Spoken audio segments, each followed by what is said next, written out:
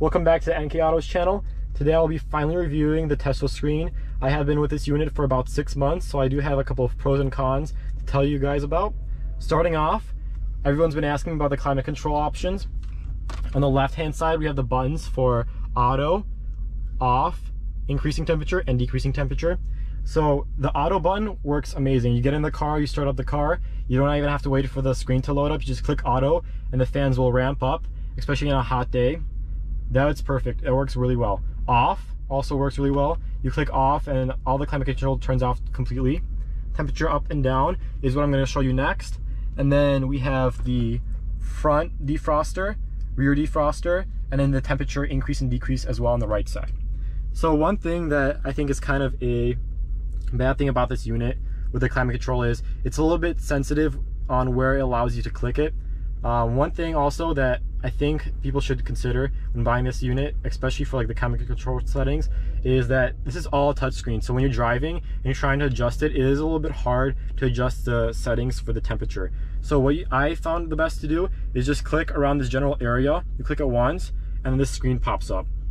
From here, we have increasing the air temperature, and the fan temperature or the fan speed all the way to five and you can decrease that too that works really well that's a good way of that's actually the only way of increasing the fan speed on the unit and then we have next to it is the low and high this setting does not allow you to click anything on the screen for this part which will increase if you want it hot or cold in the car you have to use these side buttons that's kind of a a con I think because it kind of sucks that the unit, you know, the touchscreen, but you can't actually increase the or decrease the settings. So you have to use these side buttons. The side buttons work really well, but that's one of the cons I think from this climate control setting. So moving on, we have where you want the air to go. We have the buttons for if you want the front windshield.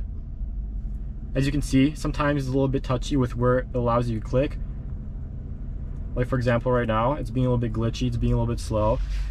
But these temperature settings allow you to put the direction of where you want the AC to go. So we have the front windshield, which it doesn't allow you actually to click these buttons. For the buttons that you have on the side, like the front windshield and the rear one, you have to click these physical buttons. It will not allow you to click these. But if you do wanna work with those, you can click this little figure sitting down and it will adjust the direction of where you want the temperature to go so that is one of the ways of adjusting where you want it to go. Also, this off button is connected with this one. So if you want to completely turn off the AC or the heat, just click off here or click down there.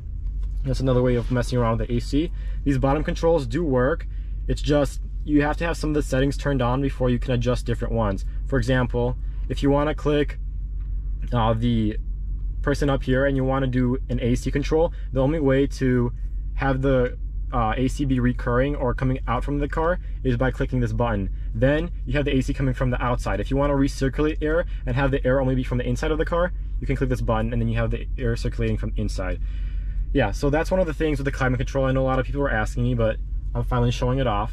Then if you get back to the screen from behind, you just click this back arrow, or you can also just click this arrow below. That will also get you back to the home screen. And then if you want to go to the general home screen, you can just click this home button and you're back at your normal starting off screen. So now moving up to the top, we have navigation, radio, Bluetooth, apps, Explorer, file media, and settings. I'm going to be going over that next. One thing with the navigation, you do have to have a hotspot or some sort of Wi-Fi connection to be able to use it. So if you want to drive your car around and use a navigation, I would just recommend putting your phone down, connecting to a hotspot, and having the unit be powered by your hotspot or a kind of Wi-Fi connection. Next, the radio. The radio works really well, but I do not use the radio because I use the Bluetooth, which is the next one the most. Bluetooth, this unit is really good with connecting your phone to Bluetooth. I've never had a single time where I've gotten to the car and my phone has not been connected or I had to mess around with it. So I think the Bluetooth is a really good option. Next, apps. I'm to be going back to this in a little bit because this is where a big amount of the system and the upgrade part of the OEM one is why this is worth it. So I'm going to be coming back to the apps, but next to the Internet Explorer, for this you also have to have a some kind of Wi-Fi or cellular connection. I was watching uh, some YouTube, but if you do want to pull off the side of the road when you're going on a long, a long road trip and watch something, you can pull over and set a hotspot up and watch some YouTube, which is really cool. I know the OEM unit does not involve that, so this is a pretty cool thing that this unit has. Next, we're gonna have File Manager, where this is where a lot of the customization comes in. You can uh, download some cool background, some music or anything. That's why we have these dongles, USB dongles, where we can connect a USB drive and import music, movies, or any kind of like pictures or any sorts of that stuff like that. So I'll be coming back to this also because I have a video that's going to be coming up for the tire pressure monitoring system, which I bought with this unit, which I'll show it in a little bit, but I think it's pretty cool also. Settings is where a lot of the customization for the backup camera or the rear view camera and the audio is going to come into play. I'll show that in a little bit as well. I just want to finish the showing the uh, top notifications. So next you have the Play Store, which is where you can download apps like Netflix or other sorts of uh, streaming networks. So that's also pretty important. Music, this is what's gonna allow you to download uh, MP3 files and import them to your system. So that's pretty cool because if you don't have connection or anything to uh, your phone, or if your phone dies, you can still listen to music through this uh, music app. Then we have video, which now allows you to download uh, movies or any sorts of content onto your system. So if you're camping and you don't have any connection, you can watch a movie with your family or anything like that. So that's pretty cool also. Console, this is where stuff with audio comes in. This allows you to adjust your uh, your bass, your uh, dampeners, and where you want the audio to be, whether it's to the right, the left, the front, or the back. Uh, next we have Car Auto, which is just their this unit's kind of way of having their Apple CarPlay. If you do want to have Apple CarPlay, I do recommend buying this dongle when you buy your unit. This thing is pretty good over the one that comes in the unit. I think the one that comes in the unit, a lot of people have having problems with connecting and it the phone disconnecting and stuff. But yeah, if you really want a solid one, I would recommend getting the one from the Phoenix Automotive website. Then the phone link is just another kind of Bluetooth that you have in this. And then the DVR, this is pretty cool. Uh, if you end up buying the 360 camera, which is the front, the rear, and both sides, this is where you can control the video output and you can uh, actually see the video from the cameras. So I will be showing a video. I did order one and I will have it in the uh, post soon. So when I get it, I'll show you how to install it and I'll show you the cool uh, the video settings that are come with this actual uh, 360 camera. But yeah, if you want to link your backup camera, you can do it. I have not found out how to do it yet because I do not have the unit. So I will have a video soon of how to do that. But yeah, that's pretty cool also. Back to the apps. This is pretty cool because we have a lot of settings in here. We have the aux settings, which allows you to uh, connect your phone if you don't have Bluetooth. We have pictures, which is where you can download pictures, or you can download pictures of your car and have that set as your background. File Manager is where we will import the um, files, the MP3 files, and all sorts of kind of stuff like that. And the car monitor is actually another setting for the the camera and the backup camera. So if you have a backup camera, you can play around with this a little bit and that will allow you to display the camera while you're driving or if you're backing up. Next we have the auto kit. That is actually what this dongle right here is.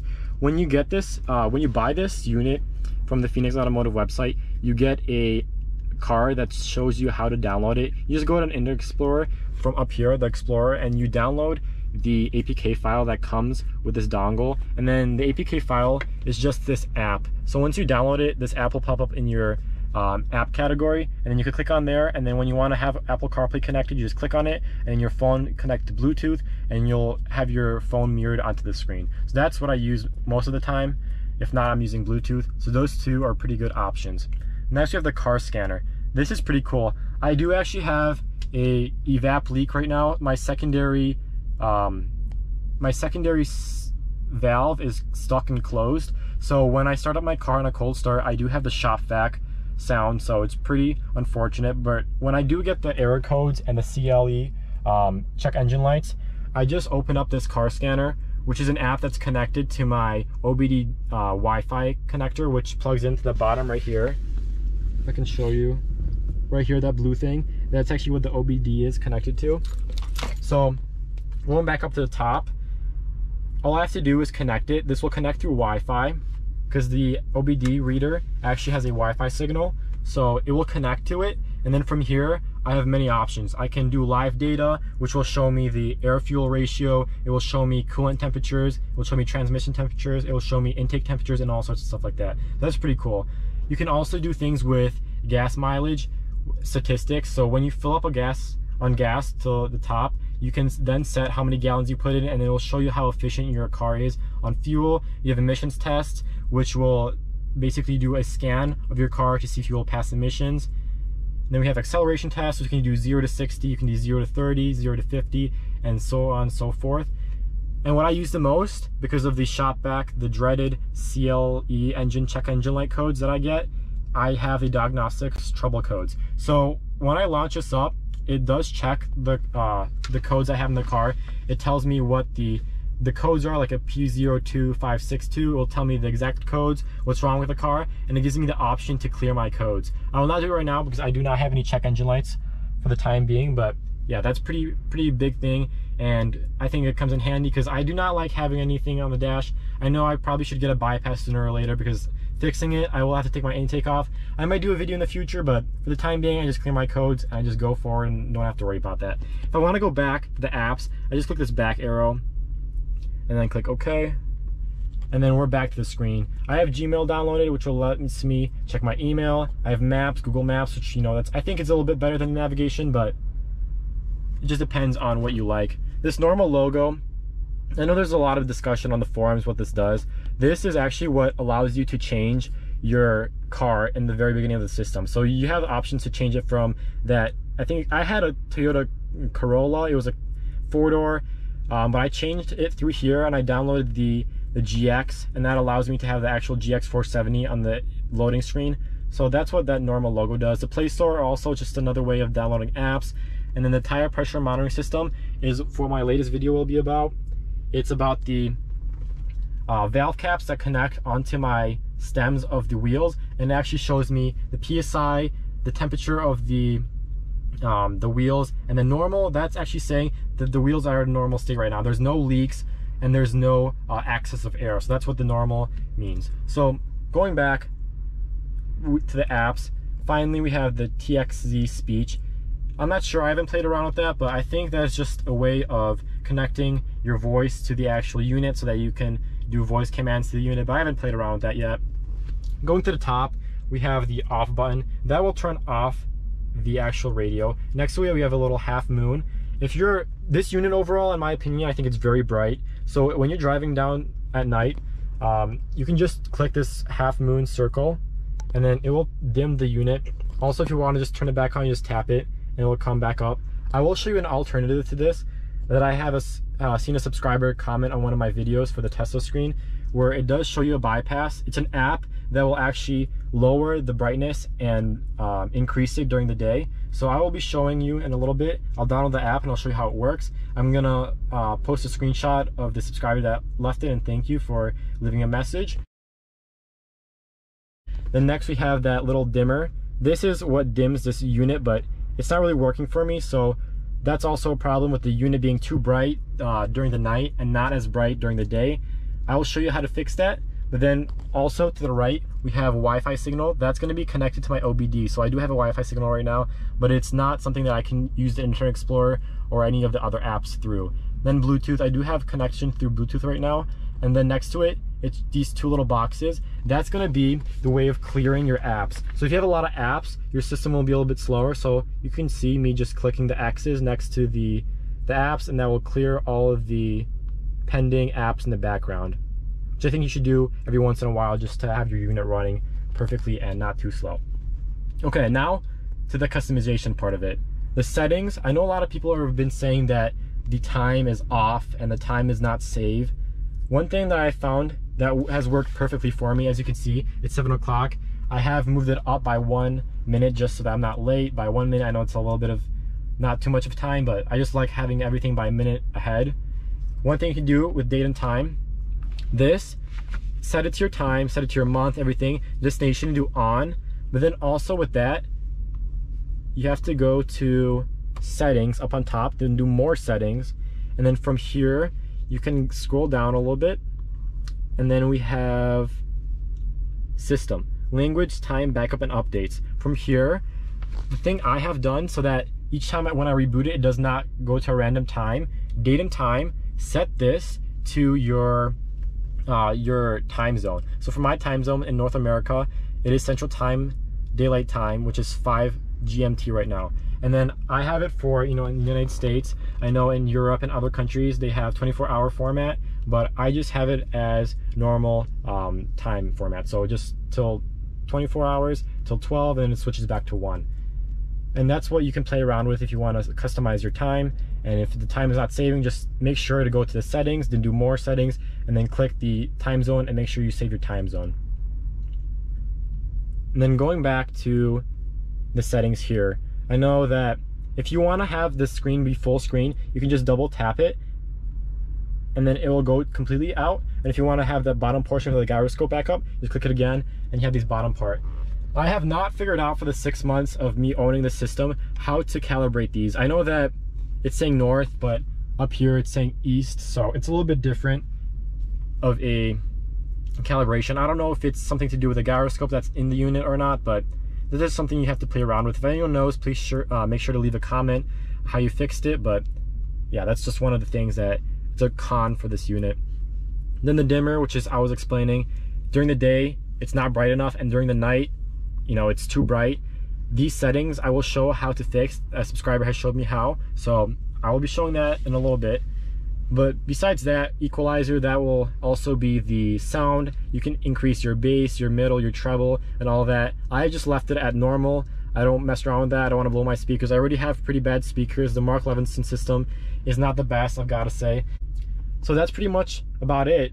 Everything else in the unit I think is pretty good. Just with the climate control, you gotta mess around with it a little bit. Um, the wheel settings, one more thing. The wheel settings all work for me. The increasing, this is increasing the volume. This is decreasing. This changes the, the mode. So if you wanna do radio, uh, Bluetooth, or any of that, that changes it. This um, changes the apps. So this will change the radio as well. Right now I'll turn it off.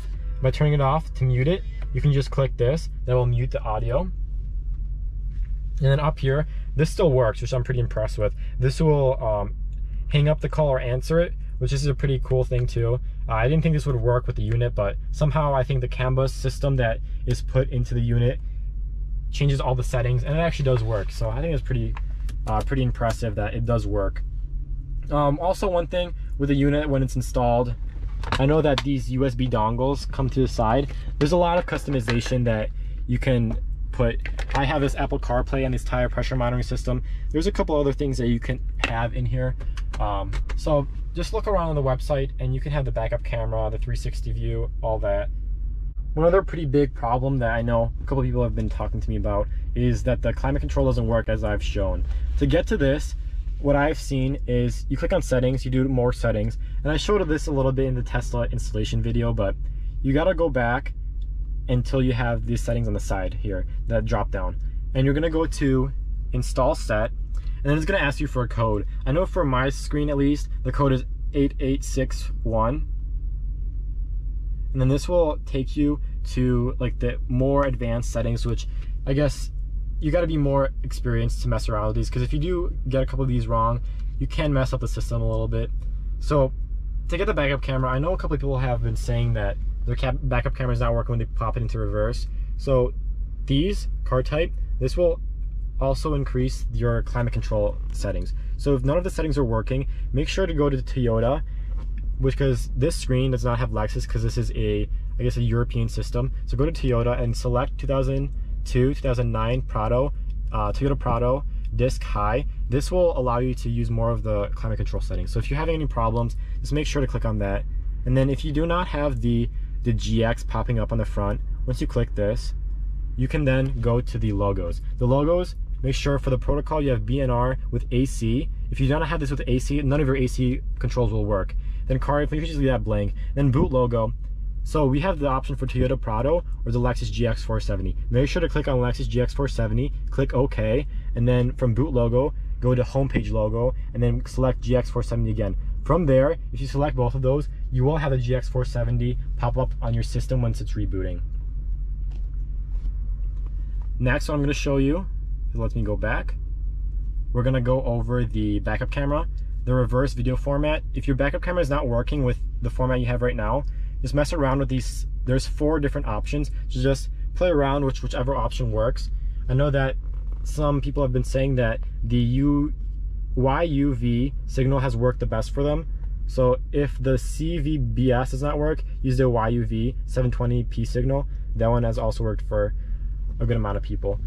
And then you can see the settings for me. I have left everything on off for the most part until we get to the um, the bottom here, which is going to be the pop-up logo after entering the home page. I leave it on so I can see the um, the GX logo pop up. And then other things which you can control the volume. I have shown people how to set the volume before installing the unit so you do not get any obnoxious um, too loud or too low. So just make sure you leave everything as it is And then one last thing with the settings, if you go to more settings, when I start up the unit, I always got that obnoxious ding notification sound. So the way I got rid of that is I went to the sound and where is it? The notification is going to be right here. Then you go to advanced and then this is the default notification sound. I just downloaded from online here.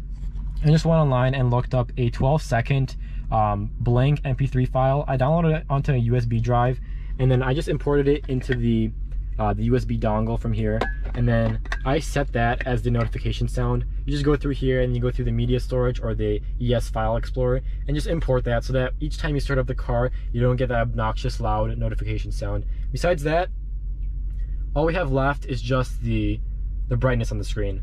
Everything in this unit I think is it's a way way better upgrade from the OEM one. I think that if you're in the market of buying one, definitely get one. There are a couple of cons with just the screen being a little bit sensitive sometimes, but overall, I think it's a pretty solid option to get. So we're gonna wanna use for the brightness, the app is called Luxlite. So you go to Play Store, and once you have a cellular connection, I'm connected to my hotspot. You just go up here, and then you look on Lux space light. All right, and then this is gonna be the app. We're gonna download it, install it onto the system, accept. Okay. Skip this. Okay. Now we're gonna go back to, we're gonna let it download. Once it's downloaded, back to home, right here, the apps.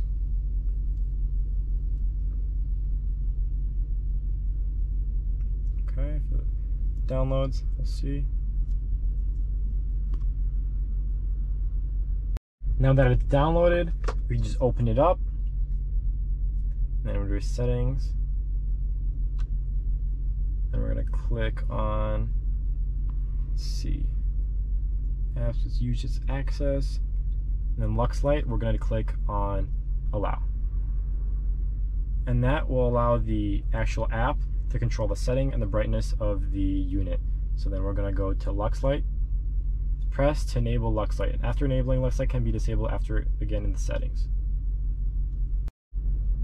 So after opening up the app, we have some settings in here. We have adjust on wake. Periodically, we have all of these. Dynamically on wake, manually, ascendingly. So we're gonna use the day. During the day, or let's see, I'll, pl I'll play around with it. Smart is going to be to enable smart profiling, switching, and more. Please support development and purchase the. Okay, so we're not going to be purchasing that. We'll just leave it for day. On day, we're going to have it on max brightness. Okay, and then during the night, we're going to have it set to. I think that should be a good setting for the night. So yeah, that's about it. It's a pretty good way of adjusting the the brightness. But besides that, everything should be good. Now it just auto changed it, and let's see if at night, if it goes back. It does, it goes back. Okay, perfect. And we can lower it a little bit more, just like that. Okay, and that's it. That's a way of changing the brightness. So besides that, if you have any comments, make sure to leave them in the comments box. I'm gonna try responding to as many people as I can. And then make sure to stay tuned. I do have a couple of videos coming up especially with the tire pressure monitoring system install. But if you have any more questions on the unit, I think it's a pretty good uh, purchase. So leave a comment, make sure to like, subscribe, and leave your post notifications on. And stay tuned for more videos.